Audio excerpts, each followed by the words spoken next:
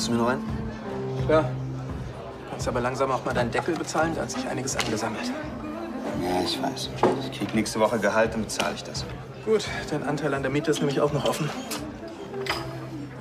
Er ist lieber ein durchaus fähiger Assistent. Aber ein OP ist kein Aufenthaltsraum. Privatgespräche gehören ja nicht. Da kann ja nicht jeder so diskret sein wie du. Über dein Privatleben wissen wir alle überhaupt nichts. Weil es auf der Arbeit nichts zu suchen hat. Magst du was trinken? Gin Tonic wäre nicht schlecht. Ist klar, ich geh mal bestellen.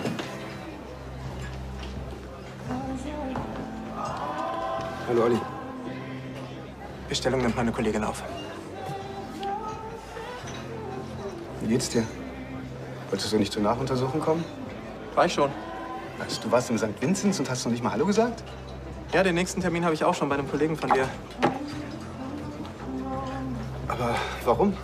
Leni, machst du das? Komm mal.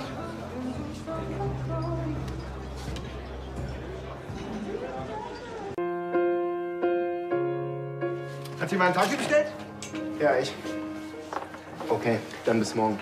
Alles klar, Matthias. Ciao.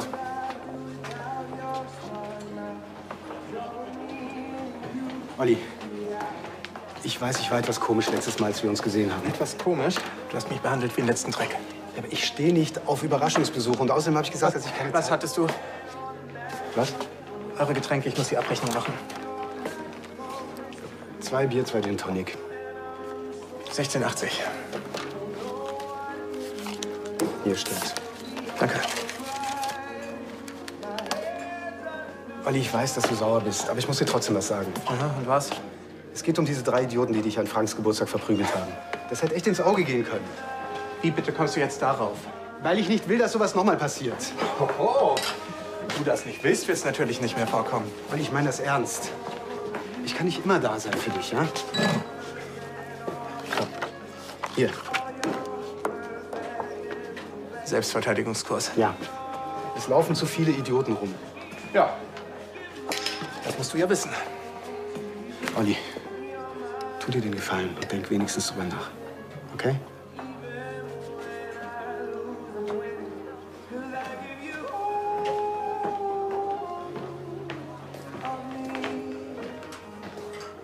Ich dachte, du stehst auf den Typen.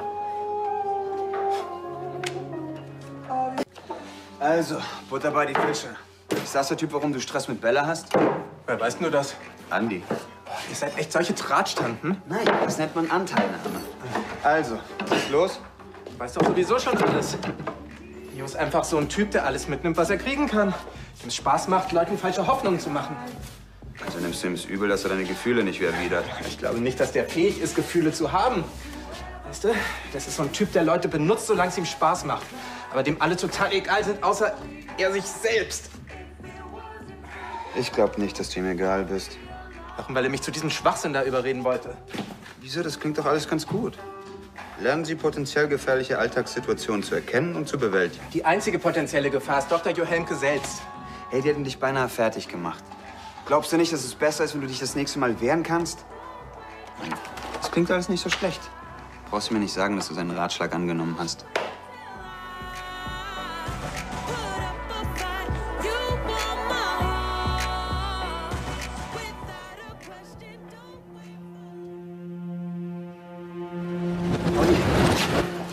Hörst du mich? Scheiße. Olli, Augen auf. Sam!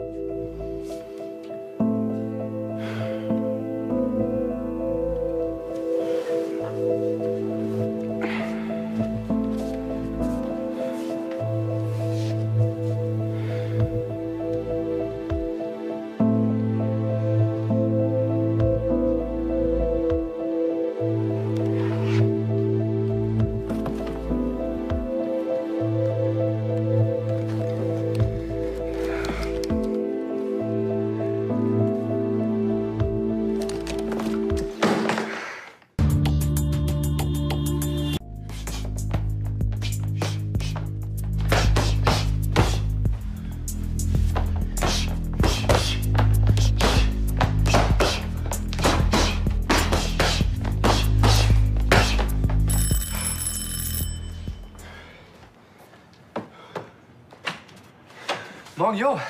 Morgen. Was willst du? Was ich will? Einfach meinen Bruder mal besuchen? Gucken, wie er wohnt? Ja, wenn du Geld brauchst, dann kannst Ich du will weg. kein Geld, Jo. Ich will einfach nur gucken, wie du hier untergekommen bist und vielleicht einen Kaffee trinken. Ist keiner mehr da. Gut, wenn du jetzt hier beschäftigt bist, dann lass dich wohl lieber alleine. Komm schon gut. Komm rein. Es tut mir leid.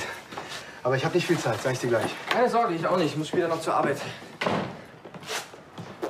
Echt coole Bude, ey. Ja, nicht schlecht. Ey, die hatte ich auch mal. Da waren meine alten Kassetten drin, als es die noch gab. Was hast du da drin? Finger weg. Deine alte Pornosammlung oder was? Nichts, was dich angeht.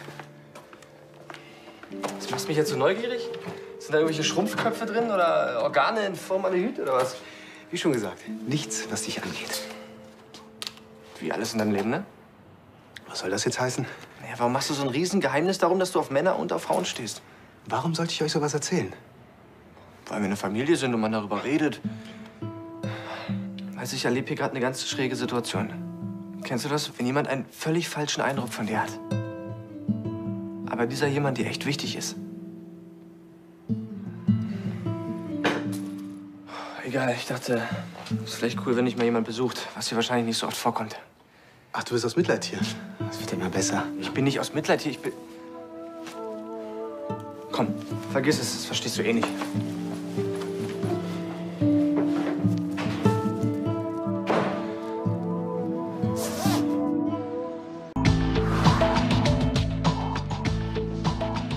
Hey, bin ich hier richtig beim Selbstverteidigungskurs für jedermann? Ja, müsste auch gleich losgehen. Okay, danke. Okay. Für alle, die mich noch nicht kennen, ich bin Jo, euer Kursleiter. Du leitest den Kurs. Wie du siehst, Warum hast du mir das nicht gesagt? weil du sonst nicht gekommen wärst. Aber ich freue mich sehr, dass du hier bist. Pass mal auf. Wenn du dir nicht sicher bist, ob das das Richtige ist, dann warte erst mal, guck zu. Schau dir alles an, okay? Gut. Bevor wir hier handgreiflich werden, möchte ich erst ein paar Worte sagen. Zunächst hoffe ich, dass euch dieser Kurs Spaß machen wird. Obwohl die meisten von euch nicht aus Spaß hier sind. Der eine oder andere hat schon mal Erfahrung mit Gewalt gemacht. Oder kennt jemanden, was genauso belastend sein kann. Es ist nicht leicht, sich einzugestehen, dass man ein Opfer war oder jederzeit wieder werden könnte. Dazu bedarf es Mut. Und genau diesen Mut habt ihr heute aufgebracht, um hierher zu kommen. Und dafür habt ihr meinen vollsten Respekt. Wenn man Opfer von Gewalt geworden ist, fragt man sich oft, warum habe ich nichts getan? Warum bin ich nicht weggelaufen? Viele geben sich dann selbst die Schuld, weil sie nicht angemessen reagiert haben. Die Art und Weise, wie wir in Gefahrensituationen reagieren, beruht auf Instinkten, die der Mensch im Laufe der Evolution erlernt hat. Diese Instinkte sitzen tief in uns. Also entweder wir laufen davon, wir greifen an, oder wir verfallen in eine Starre. Was kann man dagegen tun? Man muss lernen, gegen diese Starre zu handeln. Kann man das denn? Ja klar, deswegen sind wir heute hier. Die beste Option ist natürlich, dem Konflikt aus dem Weg zu gehen, also wegzulaufen. Wenn das nicht geht? Dann müssen wir eben angreifen, uns zur Wehr setzen. Was nicht immer leicht ist, wenn wir unser ganzes Leben lang gelernt haben, Konflikte ohne Gewalt und ohne Geschrei zu lösen. Und genau deshalb werden wir jetzt eine Runde schreien. Alles klar. Schauen wir mal. Magst du mal herkommen? Komm, trau dich. Also folgendes. Ich werde jetzt auf dich zukommen und ich möchte, dass du mich so laut anschreist, wie du nur kannst. Und am besten streckst du die Hand noch so aus. Okay. Right?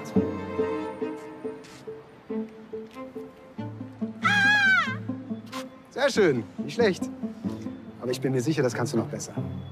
Pass auf, ich gebe dir eine Hilfestellung. Stell dir vor, ich bin ein Mammut. Und du willst dieses Mammut davon überzeugen, dass es sich besser nicht mit dir anlegt. Okay? Also mach mal richtig laut und hol tief Luft. Bereit? Super. Ihr macht das ganz gut, oder?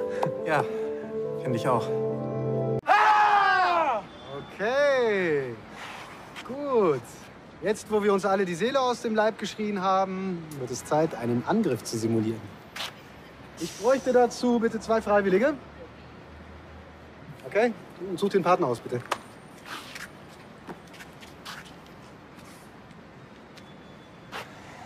Ja? Okay.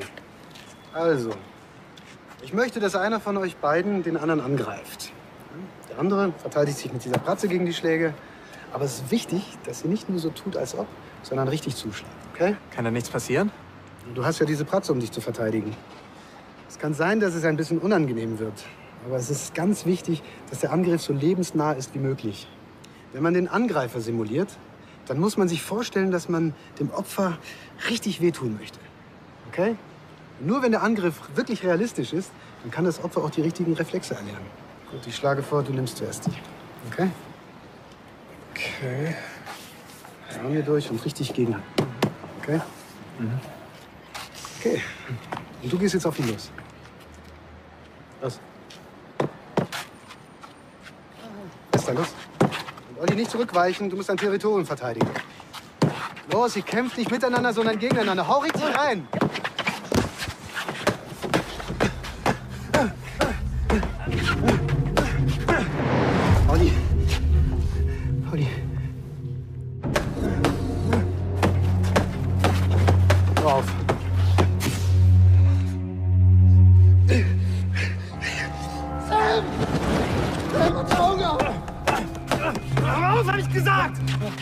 Du kannst doch nicht auf ihn einsteigen, wenn er am Boden liegt! Aber ich sollte Du ihn doch... du krankes Schwein, du! Sag mal, drehst du jetzt völlig durch?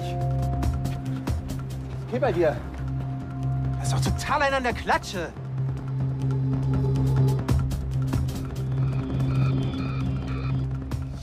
Es tut mir leid.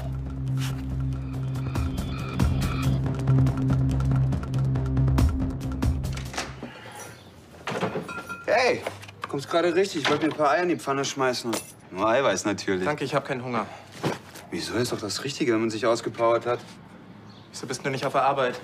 Na, weil es im Leben Wichtigeres gibt. Zum Beispiel Gelegenheiten, die man nicht auslassen sollte. Kurvige Gelegenheiten, wenn du weißt, was ich meine. Sascha, ich muss kotzen und außerdem interessiert mich das nicht. Hey, ich dachte, du, du kommst durch den Kurs wieder ein bisschen runter. Dieser Kurs war die beschissenste Idee des ganzen Tages. Wieso? Das kann doch alles ganz gut. Bis auf die Tatsache, dass ausgerechnet Jo der Kursleiter ist. Ja, aber das bedeutet doch nur, dass er dich wiedersehen wollte. Keine Ahnung, was das bedeutet. Ich weiß nur, dass der Typ ein Riesenproblem hat. Mit Beziehungen. Mit seiner Psyche. Das heißt, die Sache ist durch? Aber sowas von. Ey, der Typ ist eine tickende Zeitbombe.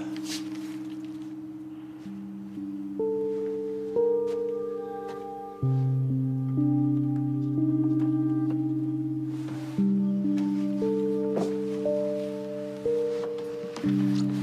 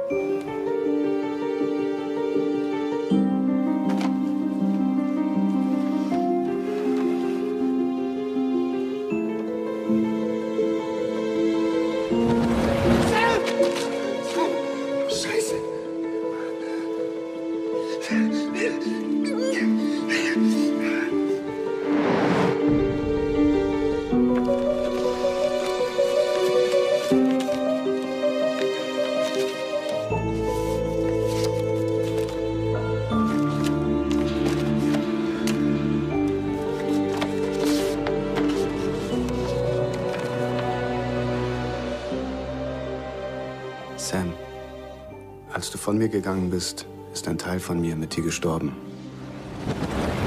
Sam! Sam, mach die Augen auf! Komm schon, Mann! Komm schon! Verpiss dich, du Arsch! Hau ab!